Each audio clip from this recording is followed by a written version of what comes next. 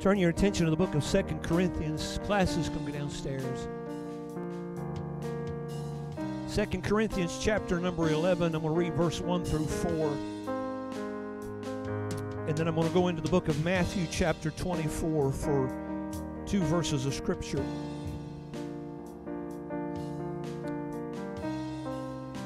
As a side note, church, next Sunday evening after our scheduled service, we're going to have a short business meeting.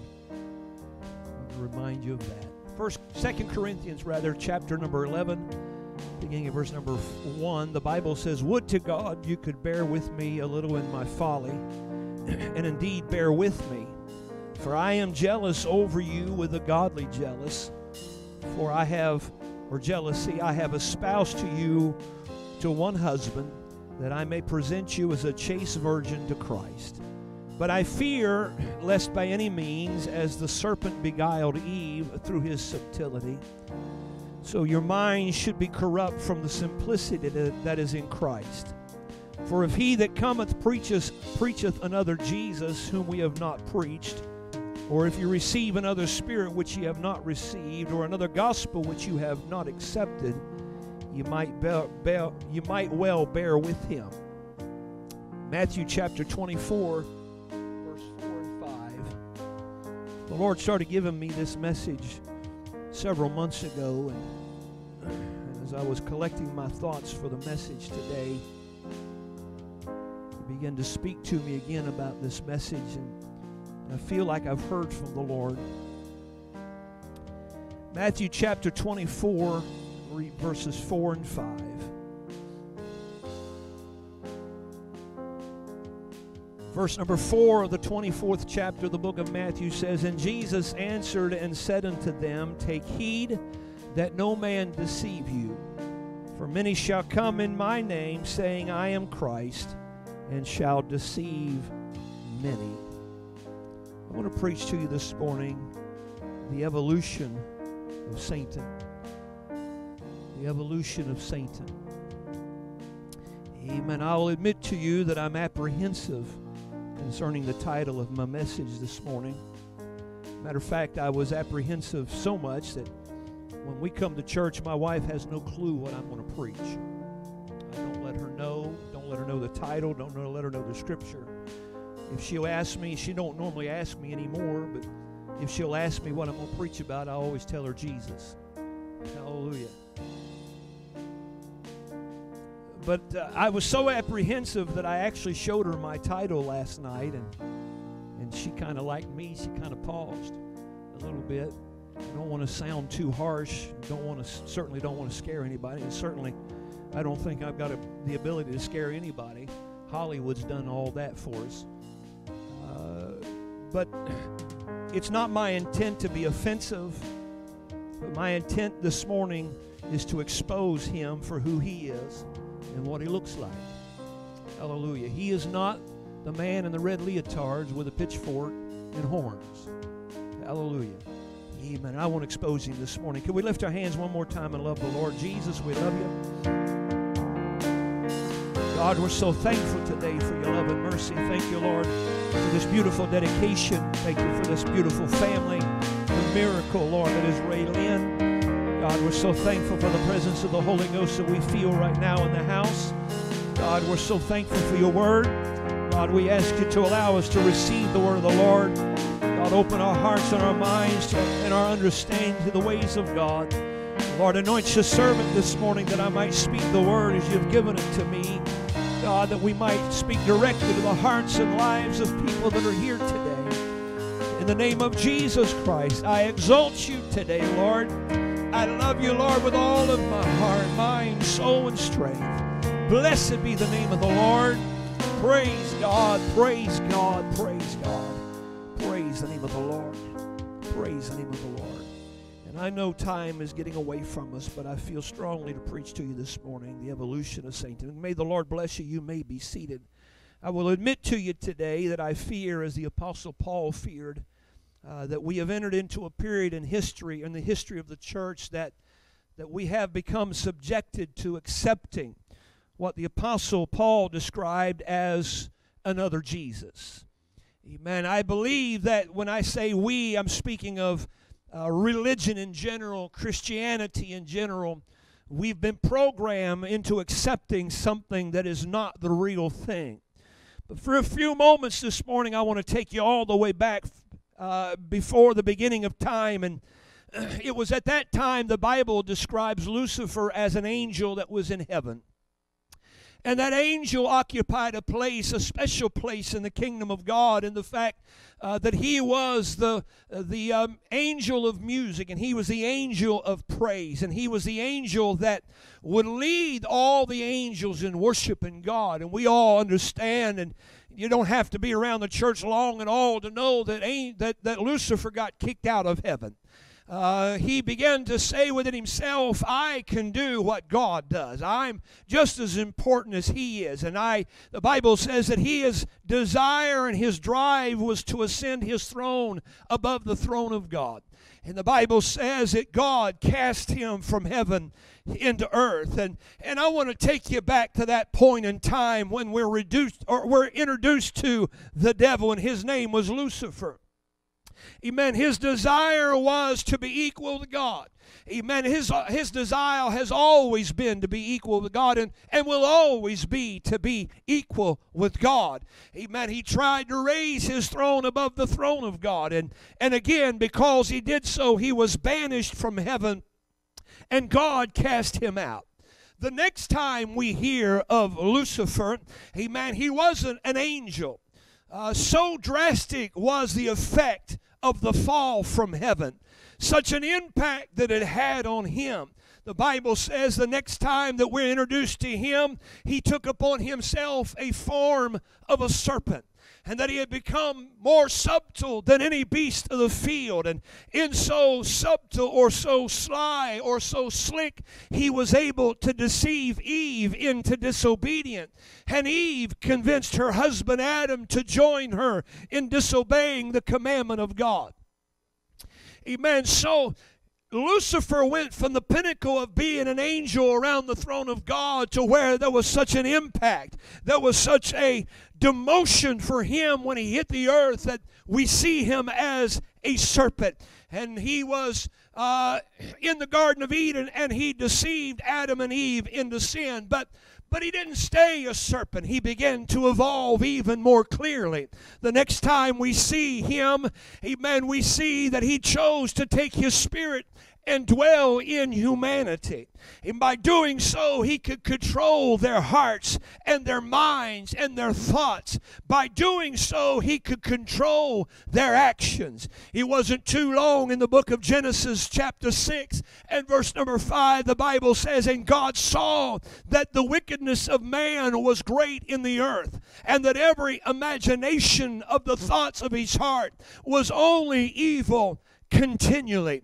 Amen. The byproduct or the reason that this was was because Satan evolved and thought that I'm not going to be a serpent anymore, and, they're going to take they're going to be able to uh, figure it out that I'm a serpent and what I'm all about. He said, I'm going to change my persona. I'm going to enter into their thoughts. I'm going to enter into their mind. I'm going to enter into their actions by their thoughts. I want you to understand today, friend, every unspeakable, every atrocity that has happened, every vile act, every lie, every theft, every murder, every assault on what is right, every assault on what is moral in our world today is a result of the evolution of Satan.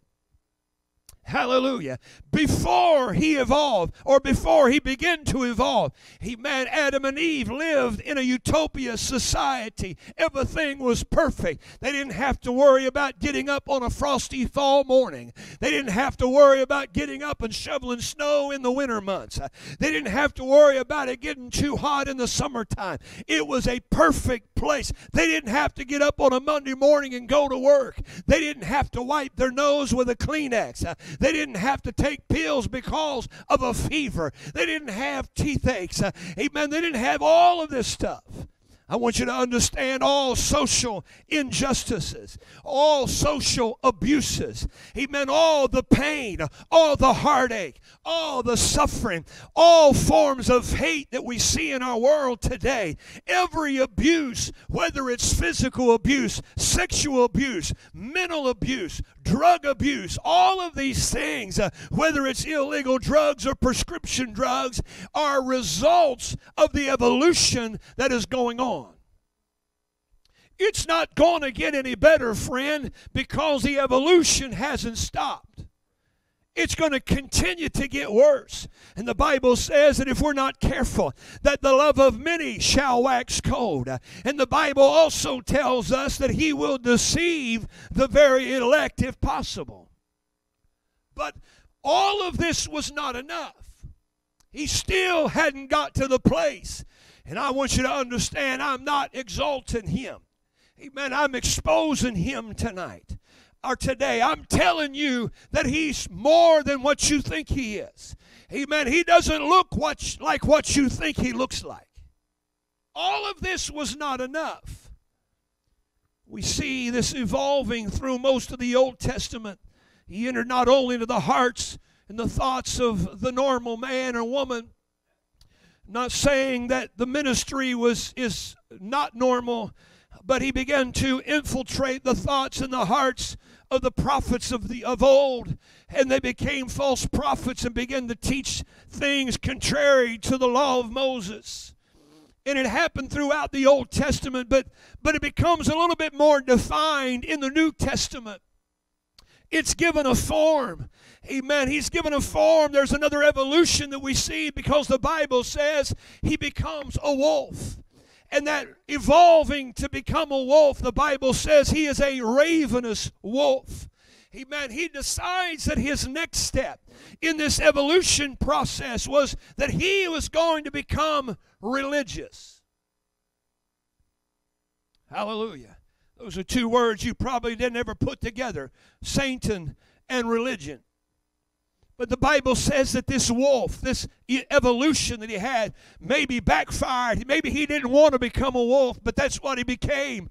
So the Bible says that he goes out and he kills and devours the sheep. And then he takes the, the hide and the, the wool from the sheep and he stretches it over his body so that you and I will look and think that we're looking at a lamb, but all the same on the inside, it's a ravenous wolf. I'm here to tell you today that Satan's desire for your life is to devour you. Amen. He's not here to make you have a good time.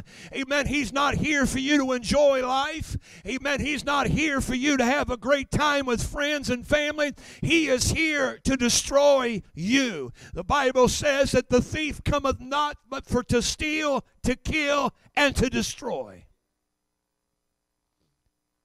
Hallelujah. So he says, I'm going to become religious. His, I, his attempt to, to hide his identity in the cloak of religion is described by Jesus Christ himself. In Matthew chapter 7, verse 15, he says, Beware of false prophets, which come to you in sheep's clothing, but inwardly they are ravening wolves.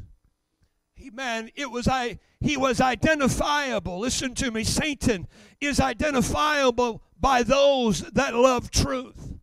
But he can't be recognized by those that just participated in their religious beliefs and their religious rituals during their normal scheduled times of celebration. Just the feast days and the sacrifices. Those that just thought about the Lord on those occasions in life, they couldn't see the difference in that lamb or sheep and that ravenous wolf that laid underneath the sheep clothing. Matter of fact, the Bible says he looked just like a Pharisee. Talking about the evolution of Satan, he looked just like a Pharisee who seemed to be religious. They looked the part. They acted the part. Amen. They lived the part. They knew the scripture enough. But the Bible says that they looked like lambs, but they were filled with a spirit that devoured the innocent.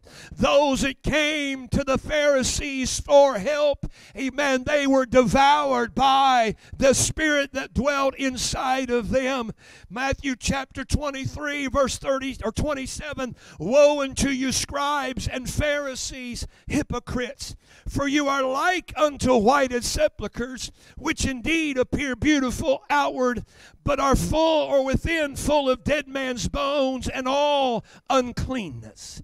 Amen. They look the part, but what it was was just another step in this evolution process. Amen. It caused them to think that their religious leaders were right and where they needed to be. Amen. Had the Pharisees lived right and had the leader, religious leaders of that day lived right, Paul wouldn't have had to give the warning that he did. Again, the Apostle Paul to the church of Corinth warned of this evolution he said, And no marvel, for Satan himself is transformed or evolved into an angel of light. Paul recognized this evolution. Amen. He recognized that Satan's appearance has changed over the years until Paul said he's going to look like an angel to you. And not just an angel, he's not going to appear as an angel of darkness that he is. But the Bible says that marvel not, for Satan himself has evolved into an angel of light. Let me tell you something, friend. Satan doesn't care if you seem to be religious. He doesn't care. It doesn't bother him that you show up to church as long as you don't participate in the house of God as long as you don't sing the songs of Zion, as long as you don't clap your hands, as long as you don't lift your hands in worship and magnifying Jesus, Satan doesn't mind you coming church. Matter of fact, he would rather you show up to church and not participate. Because those that show up in church and do not participate soon walk away from God and all the same time they feel like everything's okay with them. It's an evolution process. You don't care if you just, just don't read your Bible. Don't fast. You don't need to fast. Everybody's got to eat to survive. Amen. You don't have to pray. You don't have to give. Above all, whatever you get in church, if something would happen and you let your guard down and the Holy Ghost begins to move and you begin to speak in tongues or you begin to get a feeling of the Holy Ghost on you, amen, whatever you get in the house of God, just make sure you don't carry it home with you. Leave it at church. Don't let it affect your everyday life. It's all a part of this evolution process. Amen. Those when those that get something in the house of God and they carry it home with them are those, amen, that have a relationship with Jesus Christ. Amen. Satan doesn't care how long or how much religion you get. He just don't want you to have relationship. Hallelujah. This world's got too much religion. It doesn't have enough relationship. I hope somebody's hearing me today. Amen. Satan is constantly trying to refine his craft, uh, constantly trying to improve his action so he can deceive you and that he can deceive men and women like you. But now, in our text this morning, he has evolved to the extent that many can't tell him apart from the real Jesus. That's what our scripture text said. They're going to come preaching to you another Jesus that's not another Jesus. They're going to come preaching a gospel that's not another gospel. If you receive another spirit, amen, that you've not received before, amen, that's an evolution. You've fallen to the evolution of Satan. Amen. He has taken the word of God and made false doctrine to sound like truth. Hello? I said, He has taken the gospel of Jesus Christ, the saving message. Amen. It's just as clear and just as my dad used to say, just as plain as the nose on my face. Amen. When they asked Peter and the apostles, Men and brethren, what must we do to be saved? Peter said, Repent and be baptized, every one of you, in the name of Jesus Christ for the remission of sins, and you shall receive the gift of the Holy Ghost. Amen. If the question is the same, amen, the answer is the same friend. Uh, it still takes repentance. Uh, it still takes baptism in the name of Jesus Christ. Uh, and it still takes receiving the gift of the Holy Ghost in order to be saved. But man and religion has taken that truth and twisted it and contorted it and moved it around to make it sound like truth in order for a lie to be effective in order for you to be able to make somebody believe a lie is you got to get that lie to sound just enough to the truth. This is not new for satan. Hallelujah. He used it in the garden of eden.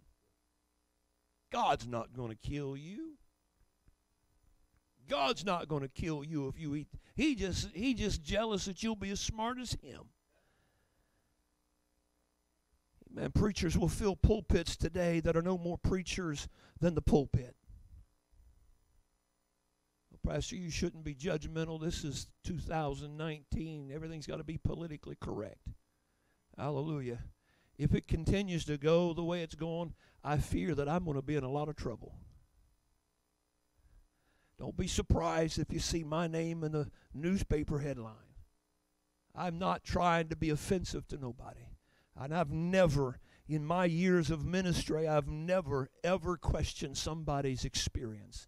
When they've come to me and say, Preacher, I have an experience with God, I, I'm thankful and I shout with them. I don't know what that experience is. I've never questioned their experience. But there are preachers today, amen, that have become nothing more than just glorified self help gurus. Hallelujah. They're standing in pulpits today telling people how they can feel better about themselves, how they can lead a more productive life, how they can become more prosperous in their job. Amen. They say, name it and claim it. Uh, amen. They're, uh, they're, the other preacher said they're, they're uh, blab it and grab it preachers. Amen. They're saying how you can be happy and how you can be productive and how you can get your children to walk on water when they're young and how you can do this and that. Amen let me say it. Do you think those things, uh, do you think those things matter to the apostles? Do you think the apostles thought that we need to be more productive, more prosperous? Paul said, I've learned in whatsoever state I am therewith to be content. Amen. Paul said, I learned how to be, to be a base. I knew how to do without. Do you think being happy and prosperous, amen, mattered to the pioneers that delivered this gospel to you and I? Do you think this morning that worrying about being prosperous and powerful and productive is what caused the Apostle Paul to stay awake at night? My friend, here's what worried Paul 1 Corinthians chapter 9 verse 27 I keep under my body and bring it into subjection lest by any means uh, when I have preached to others I myself should be a castaway Preacher tell me what I need to do to be saved Hallelujah. One writer says if your eye offends you, pluck it out because it's better to walk into heaven with one eyeball in your noggin, amen, than to go into hell with two eyes. Amen. If your arm offends you, cut it off because it's better to go in heaven with just one arm than to go into hell with both arms working well. Amen. What's he saying? Amen. Forget about being prosperous. Forget about and those things are blessings from God and it's a whole different message. Amen. God wants you to be happy and God wants you to prosper, but that's not what's important tonight uh, or today, I want to know what it takes to be saved. Hallelujah. How refined has his evolution become? Watch this. Listen very carefully what I'm going to tell you. First Peter chapter 5 verse number 8. Peter says be sober, be vigilant because your adversary the devil. What's the evolution? We've seen him as a wolf in sheep clothing. But now Peter says he comes to you as a roaring lion, walketh about seeking whom he may devour. Preacher, he'll never be like Jesus. He won't be. But his evolution will make you think he looks like Jesus. Do you need scriptures for me to back that up? Let me read to you. Just let me read 1 Peter 5 and 8 again. He meant Be sober, be vigilant, because your adversary, the devil, as a roaring lion, walketh about seeking whom he may devour. Listen to how John describes Jesus in, John, in Revelation chapter 5 and verse 5. And one of the elders said unto me, Weep not, behold, the lion of the tribe of Judah the root of David, oh, I feel the Holy Ghost. The root of David hath prevailed to open the book and to loose the seven seals thereof. Amen. Peter was saying that this evolution has made Satan look like Jesus. Amen. Walk like Jesus. Amen. And appear to people to talk like Jesus. But he said, Be careful, be sober, be vigilant, because he is not Jesus in this 21st century that we need that we're living in the greatest need of any man or woman is to say god give me wisdom to be able to discern the spirits uh, and see if they're of god. Give me the wisdom and understanding to be able to tell the difference between truth and lie. Give me the wisdom and understanding that i'll still know who you are Apostle Peter was very stern and very clear when he said he's your adversary. He's not your friend. He's not your buddy. He's not your equal. He is Lucifer that was kicked from heaven. His occupying place is a lake that burns with fire and brimstone. And he's not going to be happy until you're wallowing in that pit with him forever and ever and ever. But he knows in this 21st century, he's not going to be able to come up and knock on your heart's door dressed in red leotards with a pitchfork and horns uh, because you'll know who he is. But you better be sure when you open that door that it's Jesus that's on the outside knocking. Peter was saying that when he shows up, He's not going to come as a serpent like he did in the garden. But when he comes, he's going to look like Jesus. He's going to walk like Jesus. He's going to sound like Jesus. But the difference is, he's not coming to bring you life like Jesus would, but he's coming to devour you. His desire is to convince you that there is another gospel Hallelujah. I know you're quiet. I didn't expect you to be shouting and running the aisles. But he come to convince you that there's another gospel, which is not a gospel. It still takes repentance, baptism in the name of Jesus Christ, and the infilling of the Holy Ghost. It still takes walking a holy and a godly life in an evil generation. Amen. It still takes shunning the wrong and doing what's right, and living right, and walking right, and talking right, and spitting white. Hallelujah. It still takes dedication and consecration to live for God. His desire is to convince you that there is another Jesus, but there was only one that hung on Calvary for your sins, Sister Carter. He started out as an angel that wanted to be above God, and I'm closing. When he was cast down from heaven, it had such an effect on him that we first see him not as an angel, but as a snake. Slowly over time, he has reached to a place that many are deceived by how he looks and by how he sounds. I'm going to read 12 verses of scripture as we stand together in 2 Thessalonians chapter 2. 2 Thessalonians chapter 2 verse 1 through 12 the Bible says now we beseech you brethren by the coming of our Lord Jesus Christ and by our gathering together unto him that ye be not soon shaken in mind or be troubled, neither by spirit, nor by word, nor by letter as from us, as that that day of Christ is at hand. Verse number three Let no man deceive you by any means, for that day shall not come except there come a falling away first, and that man of sin be revealed. The son of perdition. His evolution is not finished yet. Verse number four Who opposeth and exalteth himself above all that is called God. There it is. He finally get back, gets back to the place that started his downfall. I want to be exalted above all that's called God or that is worshiped, so that he, as God, sitteth in the temple of God, showing himself that he is God. About evolution today. Verse number five Remember ye not that when I was yet with you, I told you these things, and now you know what withholdeth that he might be revealed in his time.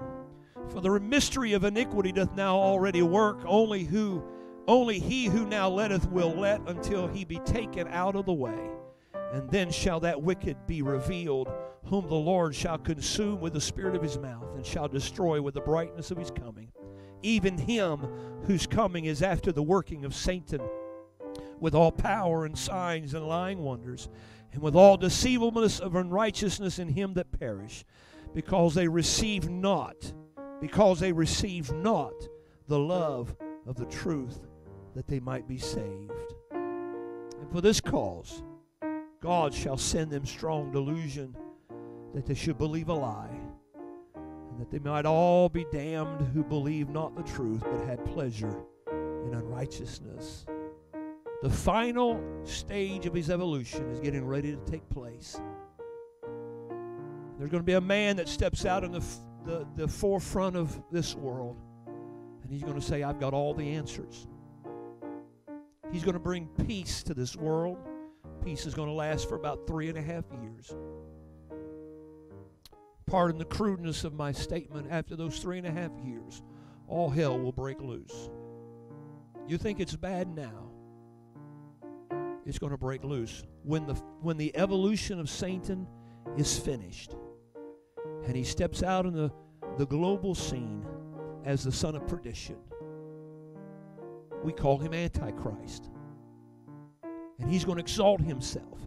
And the world, as, as it is at that time, is going to worship him as God. Hello. Peter said that we need to be sober. Sober means serious, to be sensible, to be solemn. You're sober right now. The, the hush that settled over this congregation, amen, has sobered us. He said to be vigilant. Vigilant means to be watchful, to be observant, to become attentive, alert. As, a, as an adjective, it means keeping a careful watch for possible dangers or difficulties. Peter saw it. Amen as God began to reveal it to me. And I, I, have been in this thing a long time, but I began to see this evolution process. And, and I guess I really never paid much attention to it, but it's happening before our eyes. We got to guard ourselves be, from becoming complacent as we race toward eternity. Amen. Jesus is getting ready to come after a church that's made themselves ready. Amen. That's why Jude says we need to earnestly contend for the faith. Amen. That's why Paul told the Philippians, work out your own salvation with fear and trembling. Amen. That's why Peter on the day of Pentecost said, save yourselves from this untoward generation. Saints of God, unlike a lot of preachers today, I'm not going to tell you everything's going to be a bed of roses from here on out. I'm not going to tell you that you're going to walk out these doors. I get so tired of getting Facebook notices that if you pass this to 10 friends, you're going to get abundantly blessed. Hallelujah. If you send me one of those, I, don't be offended by me not including it back to you because I don't answer that stuff. Because you know what? That's not scriptural.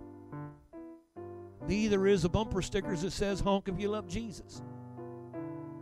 Bible says if you love me, keep my commandments.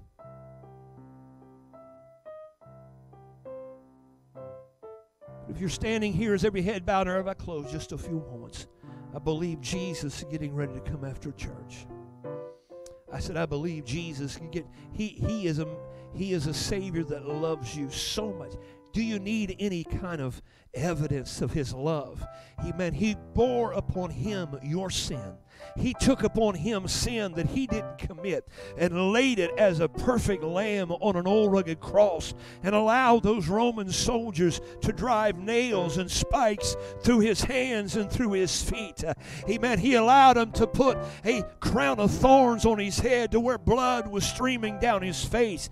Amen. His body was bruised and battered and mangled and cut. Amen. And, and bleeding profusely. Amen. But he willingly gave his life because he loved you.